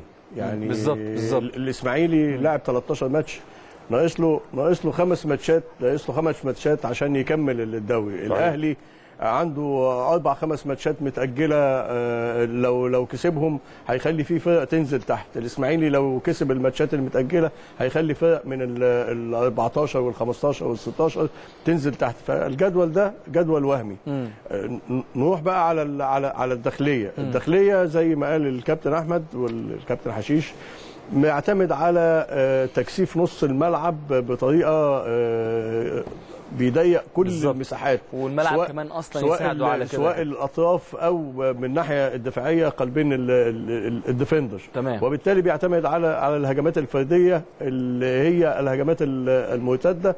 وعنده حسام باولو الحقيقة بيجيد احتلال مراكز جيدة جدا داخل ال 18 تمام. والأطراف اللي عنده اللي هو بيستغلها في الهجمات المرتدة بيجيدوا كمان إن هم يرسلوا الكرات العرضية بدقة لحسام باولي لأنه تقريبا يعني عارفين هو بيبقى متواجد في أنهي مكان. وهو دايما بيختار الزوايا البعيدة اللي هي ما حدش بيراقبها. وكل أهدافه وكل أهدافه من الزوايا البعيدة اللي هي الجانب الأعمى اللي ما حدش بيراقبها. لأن هو ما شاء الله عنده عنده الخبرة ال- الكافية إنه بيحتل أماكن جيدة لداخل ال 18 فأنا شايف إن الداخلية مش هيغير طريقته هيلعب بكثافة دفاعية جدا وهيلعب على الهجمات المرتدة. لازم الأهلي يكثف ال- الهجمات بتاعته من بداية الماتش مع آه، التأمين الدفاعي الجيد عشان يأمن من الهجمات المرتدة اللي بيوجدها فريق الداخليه تمام. محمد يوسف آخر مباراة ليه بكرة رسميا أنا كابتن حشيش خلاص آه، لاسارتي. هتولى المهمه آه، من بعد هذه المباراة مهمة بشكل رسمي. محمد يوسف ممكن يفكر في إيه بكرة؟ هيبقى قلقان عايز يطلع شكله كويس قوي مع النادي الأهلي عايز يعمل أريحية في الأداء كمان عايز يقدم الفريق ل- لازارتي بشكل آه، مميز تفتكر إن ده ممكن يأثر عليه شوية أو ياخد من تفكيره شوية؟ هو الحقيقة محمد يوسف طبعا يعني أدى المهمة بنجاح يكاد يكون 100% من أول ما مسك ال- الفريق. ومسك الفريق طبعا بعد فترة صعبة جدا وإخفاق في بطولتين البطوله الافريقيه والبطولة العربية. آه، لعب دخل كمان على مؤجلات والمؤجلات دي بتبقى صعبة قوي إن يكون عندك مؤجلات والمنافس التقليدي بتاعك فارق عنك.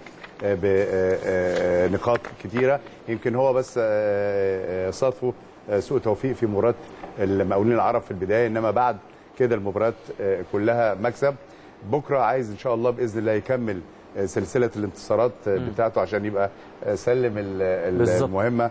يعني بأمانة آه، أعتقد بكرة آه، إن شاء الله اللعيبة ال- ال- الكبيرة واللعيبة اللي راجعة من إصابات ولهم ثقل في الفريق هتساعده بإذن الله على تحقيق آه، المهمة بتاعته. بس أنا عايز أقول بقى نقطة تانية والأهم إن إحنا شفنا خلال الفترة اللي فاتت عدم استغلال للفرص اللي بتيجي للنادي الأهلي ودي سبب مشاكل النادي الأهلي خلال الفترة اللي فاتت. يمكن آه، بلال أكتر واحد في الحتة دي لأن طبعا آه، أحمد جوال كان نهاز الفرص وكان عارف قيمة الفرصة اللي بتيجي. ممكن تغير من نتيجة مباراة ده ممكن آه، هدف. زي ما قلنا النهارده الجون الأولاني في توقيته بالنسبة للزمالك آه، نقطة تحول. كبيرة. وتضييع فرصة بتاعه آه، أحمد سالم تحول برضو في المباراة للفريق النهارده آه، اللي لعب الزمالك. آه، انتهاز الفرص الفترة اللي جاية أو أو أو الفرص اللي بتيجي للنادي الأهلي انت داخل على آه، بطولة إفريقيا ودوري المجموعات وبدايه على طول من يناير.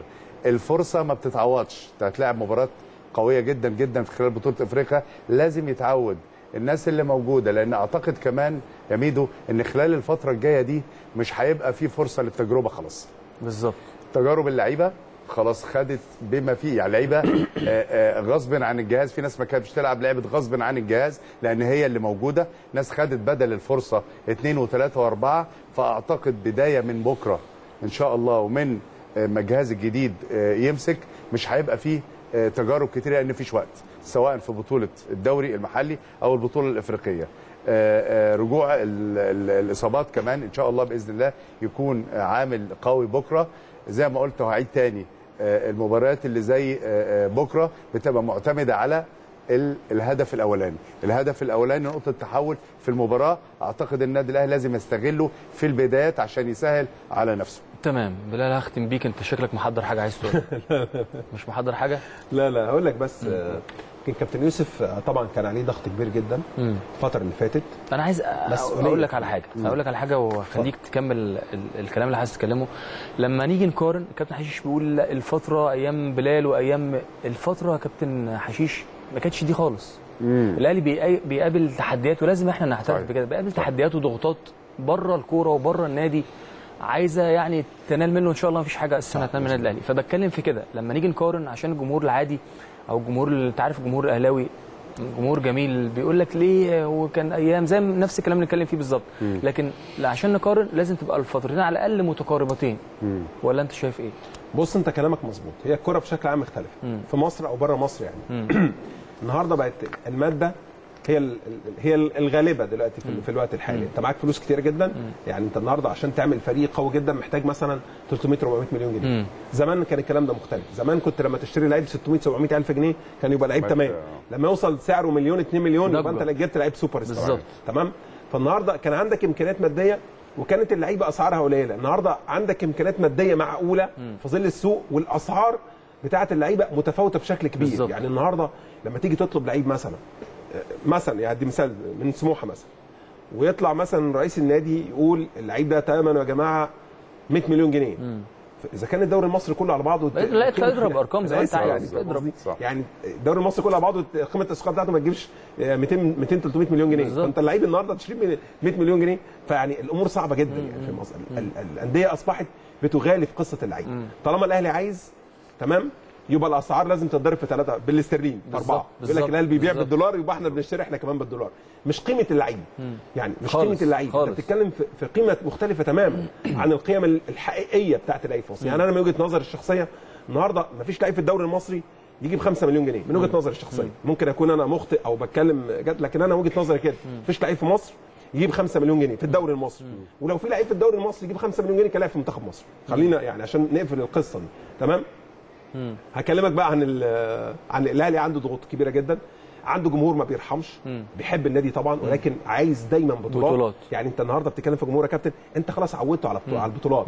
عودته ان انت كل سنة عندك خمس ست بطولات على الأقل بتخرج بثلاثه منهم. بالظبط. على الأقل. بالظبط. فالنهارده التحدي بتاع النادي الأهلي إن هو ما ينفعش يخرج من الموسم بدون بطولات. وده تحدي كبير جدا بالنسبة للعيبة. بوش إن هو طبعا. عايز طبعا الحته دي طبعا. عشان كده اللعيبة دايما أنا متحفزة. عايزك تتكلم في الحتة بتاعه الأهداف عشان أنت أكتر واحد تتكلم عليها. لأن الكوره متغ... المهاجم هو المهاجم يا ميدو. سواء فترة قديمة أو جديدة. حرامي في 18 آه ال- المهاجم. هو اللي... أنت بتتكلم على واحد اسمه حسام باولو في فرقة الداخلية في ترتيب كذا. ومن الهدافين ثمان ما شاء تجوان الله بيجي له كام يعني بيجي له كام كورة. هو ده هو ده. انهاز الفرص. هو ده راس الحربة اللي لازم يبقى موجود في النادي الأهلي. ما ينفعش يجي له خمس ست كور يضيعها أو يجيب منها كورة. لأن النادي الأهلي المفروض إن هو على طول بيوصل. ولا الكلام طبعا يا؟ كابتن خاصة إن طرق اللعب اختلفت. طرق اللعب كل ما بتتطور بتتطور للناحية الدفاعية مش الهجومية. يعني أنت بتطور دايما يا كابتن عشان تدافع كويس قوي مش عشان تهاجم كويس قوي يعني النهارده نبص يا كابتن على الكرة في مصر. أنت بتطور بشكل كويس قوي عشان تدافع بشكل كويس جدا يعني فالنهاردة يعني الكرة اختلفت. يعني أنا معاك طبعا إن كل الفرص اللي تتاح. ليك لازم تسجل أهداف. جونك أهو طيب. ده آه بقول لك كان حرامي حرامي وشمال أهو. بقول لك كان حرامي يا كابتن. وفي الزمالك. يعني مش آه كان ما شاء الله بلال ما شاء الله كان حاجة جميلة جدا. التركيز مطلوب طبعا التدريبات مطلوب أنا أنا كان نفسي يبقى يجي حد مثلا في النادي الأهلي يبقى يشتغل على الحتة دي على حتة الفراوده فاهم قصدي طبعاً، كان. نفسي مع قطاع الناشئين أو مع الفريق الأول كنت أتمنى حاجة زي كده يعني مع التعديلات الجديدة وباينه يا بلال في الفترة الأخيرة باينه قوي في الفترة الأخيرة كده ندفع ممكن فلوس في الوقت، تفرق. خلي بالك. طيب طيب خلاص. بقى. آه يعني أكيد بالتوفيق النادي الأهلي بكرة طبعاً، يعني. مباراة صعبة على فكرة مش سهلة نفسيا الزمالك بيكسب أنت بتصعب عليك الأمور صحيح. بشكل كبير جدا عندك مباراة يعني مع اللعيبة اللي موجودة واللي انضمت للقائمه بتاعة النادي الأهلي أعتقد إن شاء الله هيبقى ليهم تواجد بشكل كبير جدا. فتحي معلول أحمد الشيخ اللعيبة اللي هترجع اللعيبة اللي كانت مصابة اللعيبة اللي ما كانتش موجودة في إفريقيا. صح. عندك التدعيم هتبقى جيدة جدا. أنت من بكرة ابتدى ليك شكل مختلف خالص. من. بكرة ابتديت نادي أهلي ب- بشكل مختلف بستايل مختلف بلعيبة مختلفة تماما. أعتقد إن النادي الأهلي الفترة اللي جاية تبقى فترة موفقة بالنسبة لنا إن شاء الله. يعني. نشكرك شكرا جزيلا. أفتقدك بكرة أنت شكرا. إحنا تحت الدنيا. ننزل درجه ثانية شكرا. ربنا يخليك. منور بيك وبالكباتن العظام. مباراة زي ما اتفقنا مع حضراتكم مباراة يعني إن شاء الله النادي الأهلي ياخدها على محمل الجدية. زي ما هو معودنا ثلاث نقاط هامة جدا. النادي الأهلي الداخلية فريق لا يستهان به في الخطة الدفاعية بتاعته مع كابتن علي عبد العال وحسام باولو نجم كبير جدا برده ما نستهونش بيه خالص. بيحرز أهداف أو بيجيب أهداف من أنصاف الفرص. هداف الدوري وكان هداف الدوري في نسختين فاتوا خدهم مع نجوم كبيرة جدا يعني أو تفوق على نجوم كبيرة جدا. حسام باولو صاحب أسرع هدف في الدوري الممتاز خدها مني بحاجات بسيطة جدا لكن كام ثانية؟ يستاهل. لا لا لا ده جزء جزء أقل من جزء من الثانية لكن هو يستاهل. هو فعلا صاحب أسرع هدف في الدوري الممتاز ما نستهونش بحسام باولو لأنه ممكن يحط جول من أي مكان. أكيد محمد يوسف عامل حسابه. كل التوفيق للنادي الاهلي أشوفكم بكرة بإذن الله على خير وتصبحوا على ألف خير.